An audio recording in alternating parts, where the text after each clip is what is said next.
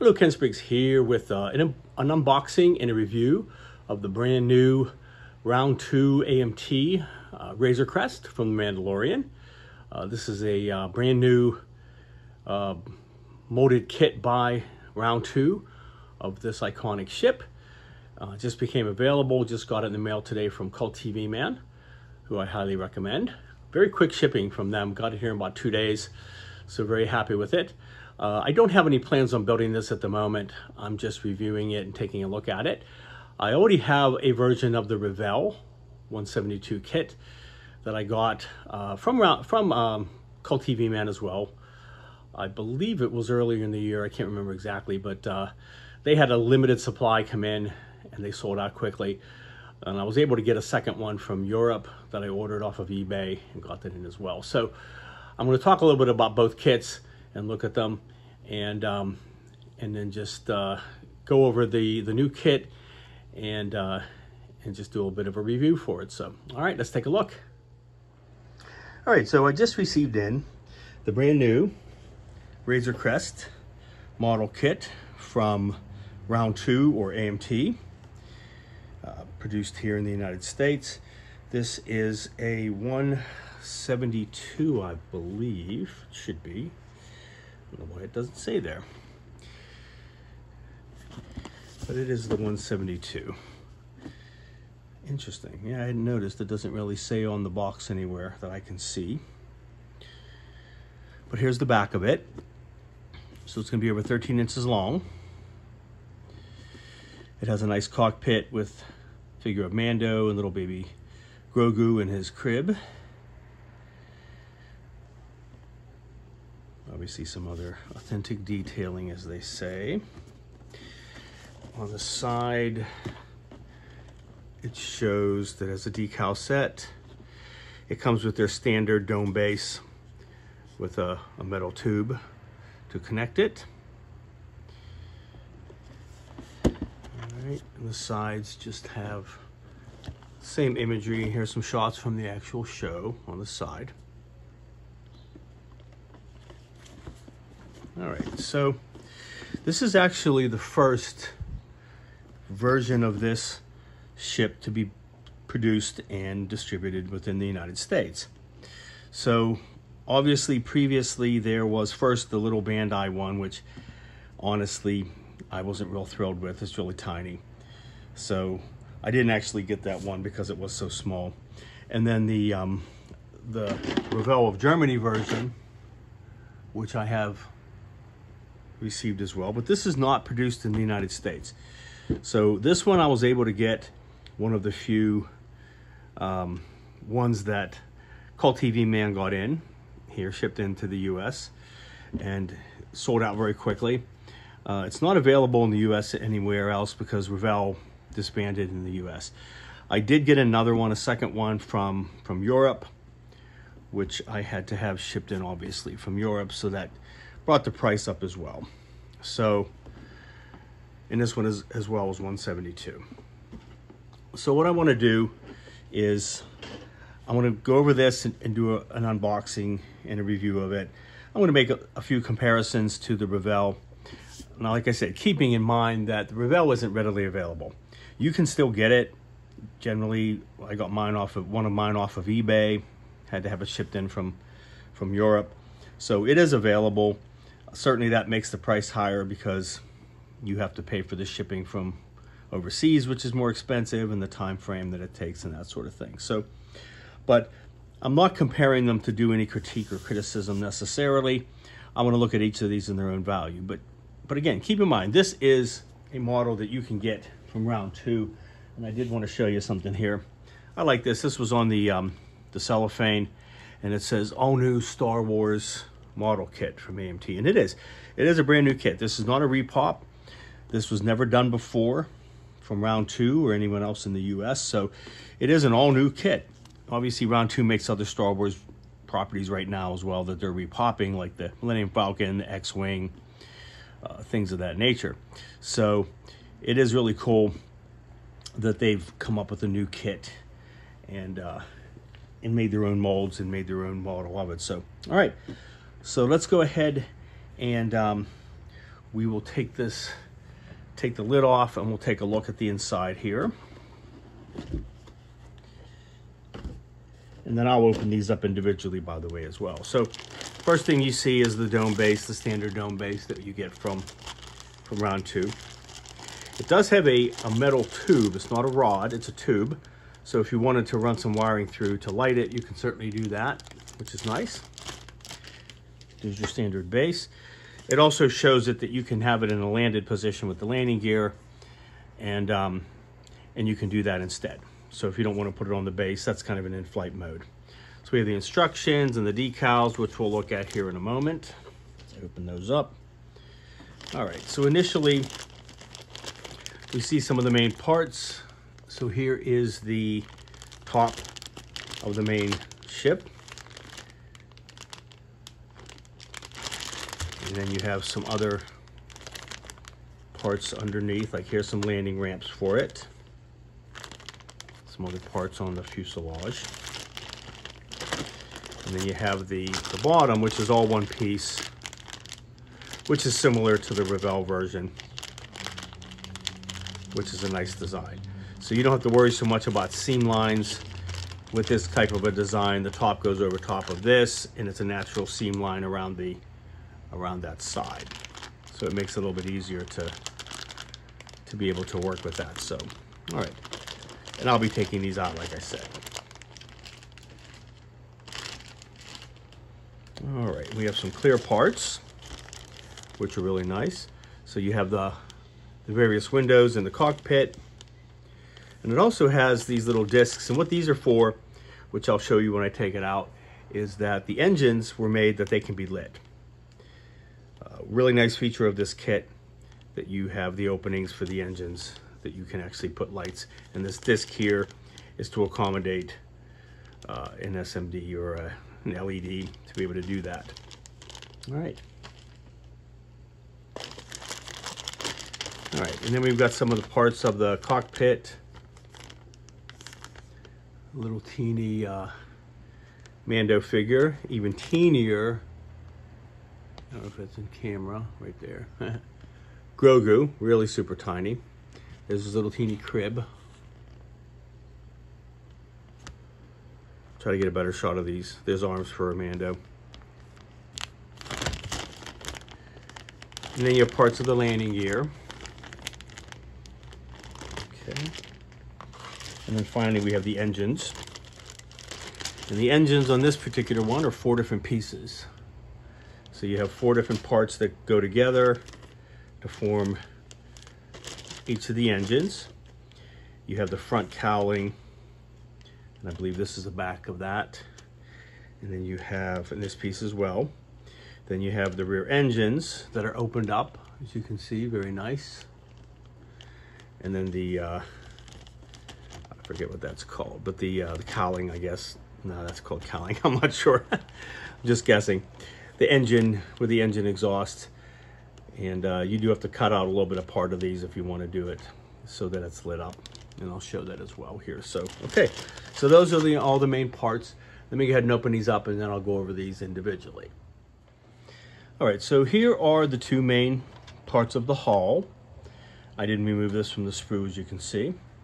So the bottom has this separate piece which goes on.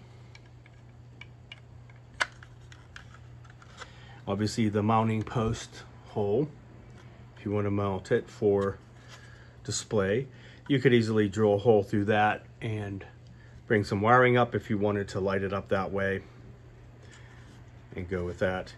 You have the opening to the back cargo ramp and you have an opening on this side of it for the ramp, which we often see in the show or have seen in the show.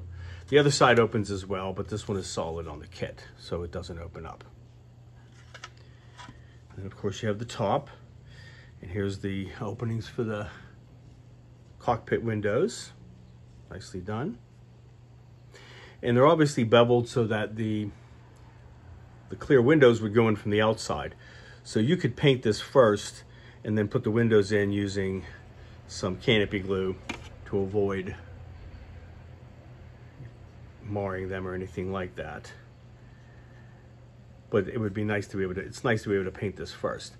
So on this one here, a lot of the detailing that's in these spots here is a separate piece. It's not built into the top of the kit, it's added in separately. And here's this one, two more windows in the bottom. And then you have the uh, the spots for the, the guns on the sides, the landing gear. The other landing gear goes in these side parts right here. And another panel, obviously, that goes on the front here to give you some detail on the front also. So, all right. So let me make a quick comparison just because this is the main body of the ship and I want to make a quick comparison between the Revell and the Round 2 to just kind of give you an idea. So same basic design. So you have the bottom tub one piece, just like they do. Oh, let me turn it around here. So very similar, very similar design, very similar in shape. Same basic idea was used. The Revell has both doors opened up. Uh, the Revell as well, sorry, didn't mean to make a rhyme there, but the Revell has doors that are able to be opened and closed, including the ramp door. Which then, at this point, I'll make one of the most obvious differences. The Revell has not only the cockpit interior, but it has a full interior for the, the cargo bay down below as well, which is definitely a selling point for the Revell um, that it has that involved. The the round 2 does not come with one for the for this bay down in here. It has one for the cockpit, of course, but it doesn't have one here. So if you were to open up the hatch in the back, which you can position it open, and the way this is designed is you can choose between having the hatch open or closed and this one as well, but they're not they're not pinned in any way for them to open and close and be removable. Same with the landing gear. You either build the landing gear in an open position or you build it so that these have the hatch covers on them and it's not open. So what they call in-flight or landed options. So now there is a kit, several kits out from Green Strawberry for uh, adding aftermarket detail to to this ship. Now, oddly enough, I thought at first it was for the Round 2 because they have a cargo bay and they have other things that are added onto it. But surprisingly, it's designed for the Revell, which is surprising because Revell has its own interior, so I'm not sure why they they focused on that one and not on the other one. Now, Green Strawberry is from another country as well. I believe they're from I don't want to say which country. I can't remember now, but they're they're not from the U.S. So I don't know if they're they're catering to the Revell market since that's in Europe or in Germany. Um, but it may be possible to use that and build up the interior to this kit. But I have noticed at this point, as you can see, you have that raised part inside of there, which is underneath this. Whereas in this one, this is more flat. So that would more accommodate an interior, whereas this, this would be a problem. Don't know why. I mean, you could technically, you could feasibly cut that out, or at least a good chunk of it. And I don't think that would interfere with this piece, which is just going on after the fact. So you could do that if you wanted to. You certainly could use those parts because if you look through this part here, you wouldn't want to see that flat piece right there. Wouldn't want to see this right here. So it certainly has its benefits in doing that.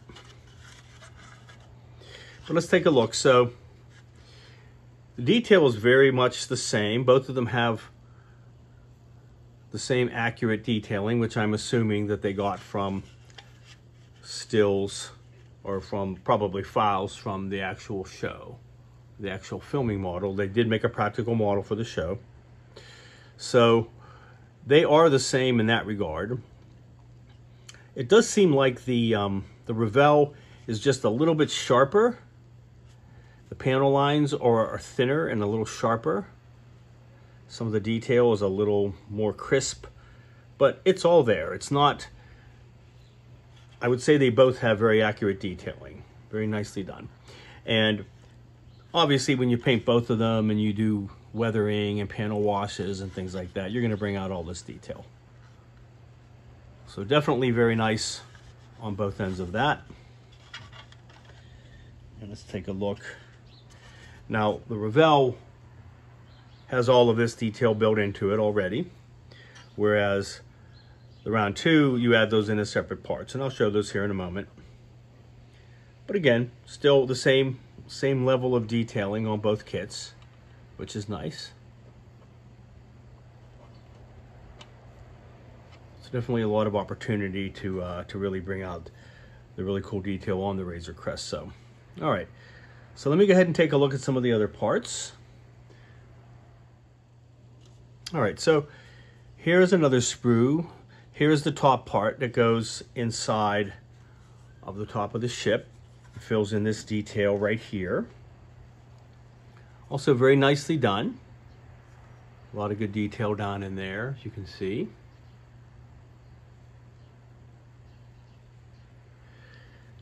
Uh, I'd have to look and see. I'm not sure what these these probably have to do with going on the top, I would think.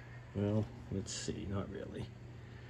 These are probably, these are the wings, obviously, the parts for the wings that go out to the engines. Yeah. They probably go somewhere on this side here, underneath here. Yeah, I think that's where they would go.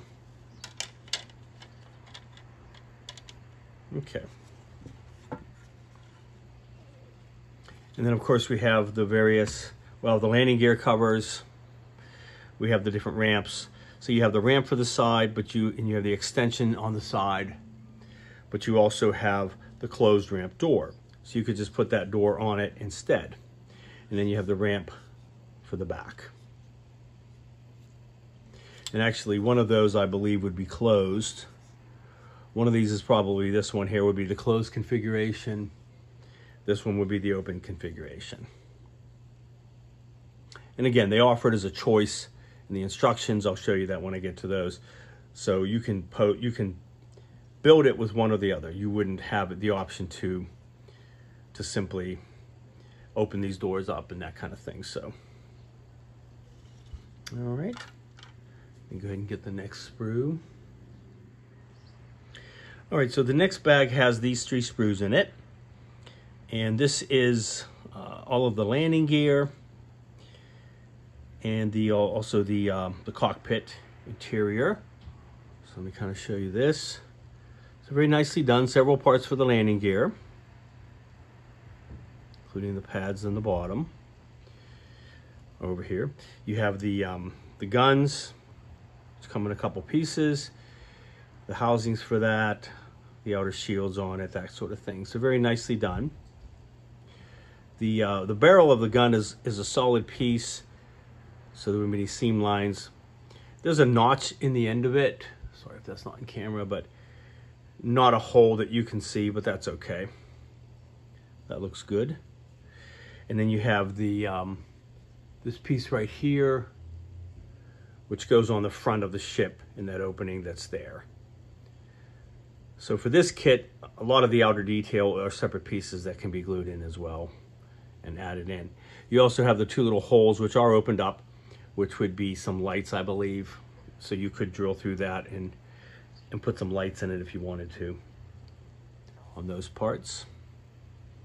All right. This is more of the landing gear.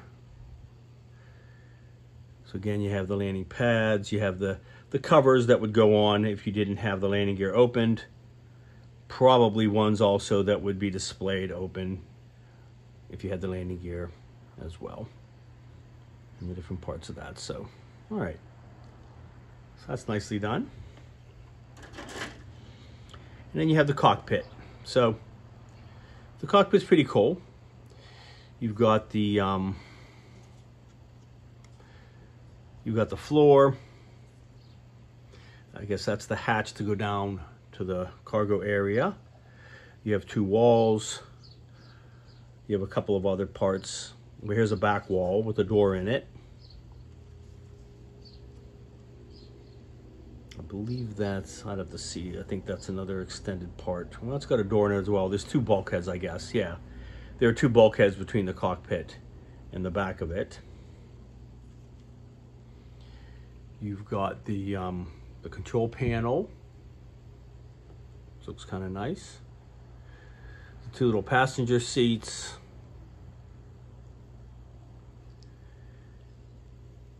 You have the main cockpit seat for Mando. Some front detail on that. It's a nicely done part.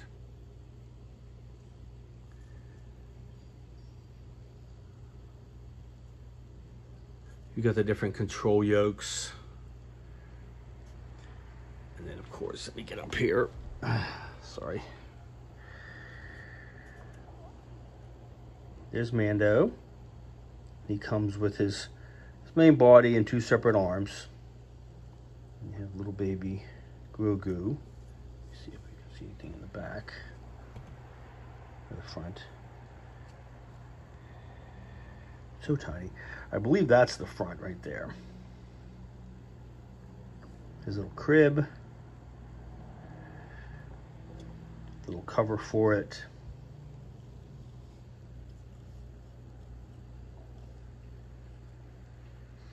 So that's kind of cool. I like that little feature.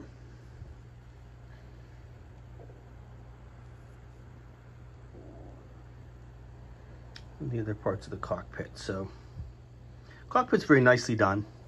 Definitely very nicely done. So I believe there are decals for it. I will show those once I do the decals. So, all right, let's look at the last sprue.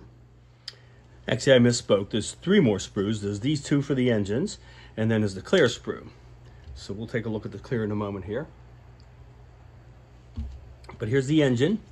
Now, as you can see, as I said, this has four pieces that make up the engine, the, the main cylinder of the engine. So I'm not sure how much seam gap filling you'd have to do once these are together,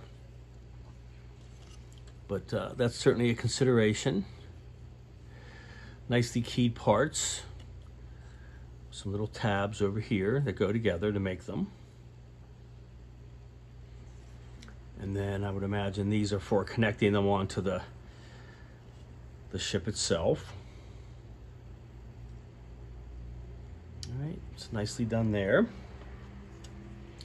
And then you have the, uh, the front cowling, which has this piece as well, and this part that's an insert to make those up. Oh, never mind. This part with the with the fan ribbing. So that would go behind this. Okay. And then you have the engines. So this is definitely a good selling point and a really nicely done part. I never understood why in the Revell that they made this a solid piece and they didn't have any openings for the light to come through. I mean, clearly that's what you're going to want to do is light up the engines on this. And then you have this part here that goes over top. And so the nice design of it is you can you can paint this and paint it black to light block it, and then you can put on your metallics and weather it and that sort of thing, and then put the light behind it so that it's only going to come through those openings there, which is the best way to go about doing it. Now they do mention in the instructions for this part right here that if you want to light it, that you want to cut out, notch out parts around the in, inside part of it. Because the way it is in the show is that there's light that comes through the bottom of these. And you can even see, let me try to get close to that. Sorry, they're on the sprue. you can see that ridge there that's a little more pronounced than the rest of the ridge coming up. So what you would do is you would just cut that probably with a Dremel, sorry, to open that up so that the part that's attached onto here would have light coming through the sides of it. But definitely an awesome approach with this. Really happy with that. Which just makes sense. I don't know why the Revell version didn't do that. What such a simple fix, not hard at all to do, but uh, but they did not do that. So okay, so that's very cool for lighting. Let me go ahead and show you then the last one, the last sprue with the clear on it. All right, so pretty straightforward. You have your clear parts for the cockpit, which are nicely done, nice and thin. I like that. These parts up here. And then you have these discs, which would be used to light the, um, the engines. So I would imagine what you would do is frost this to catch the light. I think you're supposed to put a like an LED right into this hole, I believe. I'd have to take a look, but certainly you could do whatever you want to do with that to light up the engines. But that's a, um, a part also provided. So, all right. So very, very cool. All right, then finally we have the decals in the instructions. So yes, here's the decals for the floor. That's the hatchway that would go down below. You have some of the controls on there. Not sure what all of these are. Then you have two versions of the orange markings on the side. You have ones that are chewed up and ones that are brand new. If you just want to make a brand new Razor Crest, because like in Star Wars, all of the ships, there's multiple versions of them, even though we don't necessarily see other versions of a Razor Crest. There are. So there would be a new one that would have pristine markings. So that's pretty cool.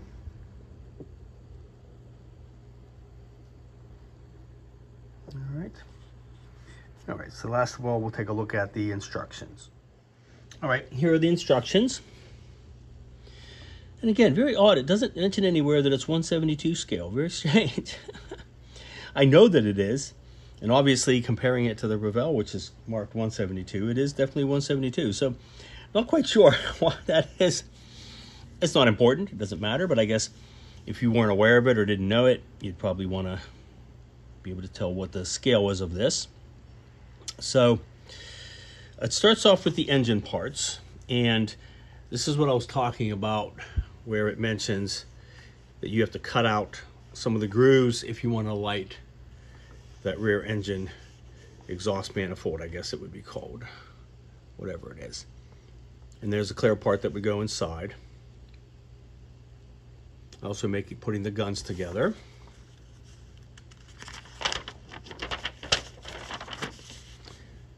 Okay, sorry this is not all in frame. But then after that, you would then put together two halves of the engines at once and then glue the back on. And obviously if you were lighting it, you'd have to put that inside. And then you'd put the other pieces on that and the front cowling on there as well.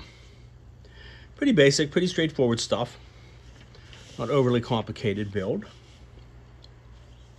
And then you have uh, building the figures. So you have Mando, you have Grogu. You have the controls. You have the back seats or the passenger seats that are actually glued onto the wall. Some other control panels. And then that whole assembly goes down inside the ship. Okay. And a lot of the a lot of the parts here would tell you to put an optional part on. If you're using landing gear versus putting the post in, there's a little cover for the post hole if you didn't want to display it on the base.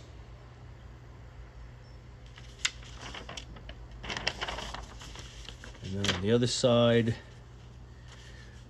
you have all of the windows that go in. And again, you're putting these in from the outside. So that's a nice feature that you can paint it and detail it first before putting those in. And then you have the main assembly of everything once that's all together or sub-assemblies.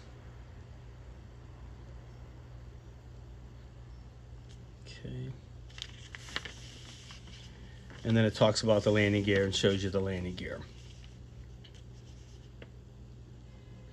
And again, so they have two different options. You have landed and you have in flight. So landed, you would have the landing gear coming out and the open doors. In flight, you would have the doors closed, no landing gear. And the same within the front. Now, I suppose if you wanted to, you certainly could just assemble the landing gear since it's all one piece. Well, it's multiple pieces, but when you put them all together, it's a sub-assembly. So you could build those and then not glue the landing gear, gear plates in, just paint them, and then take them off and put the landing gear, landing gear in if you wanted to display it landed. So that doesn't seem like a problem. You could certainly do that. I think similarly with the ramp, same thing. You have just the ramp door that goes on, or you have the opened ramp, but it's just put on here and it's not movable. I mean, if you were, if you really wanted to, you probably could put something in, but but again, you don't have this piece here that would extend or anything. So I don't know that this would be an openable option kind of thing. You could do that here and put some pins on it, but it's not really designed for that. And the same with the back. You have the back ramp with these opening hydraulics, or you have just a closed door that you just put in place. All right. And then the other kits that they're offering, as I mentioned, they have the Boba Fett Starfighter, the X-Wing. They also have the the uh, the AT-AT Walker, the X-Wing out right now. And I know they're supposed to be bringing out the um, Millennium Falcon and some other things as well. So, okay. So overall, very nice kit, very nicely done. Lots of good options with it. Uh, certainly, if you wanted to do something with the with the passenger or the cargo section, you would have you could scratch build something, or you can get other parts. I do believe the Green Strawberry would work well for that if you wanted to reproduce your own inside. Since it is the same size and same scale, just a little bit of uh, modifications in order to make the that fit inside because of the differences that I showed. All right, but a very nice kit overall.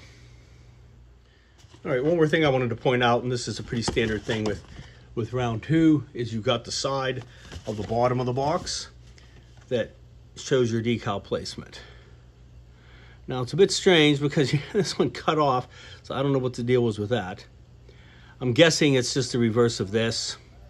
So the five goes on this side, the two goes on the opposite side.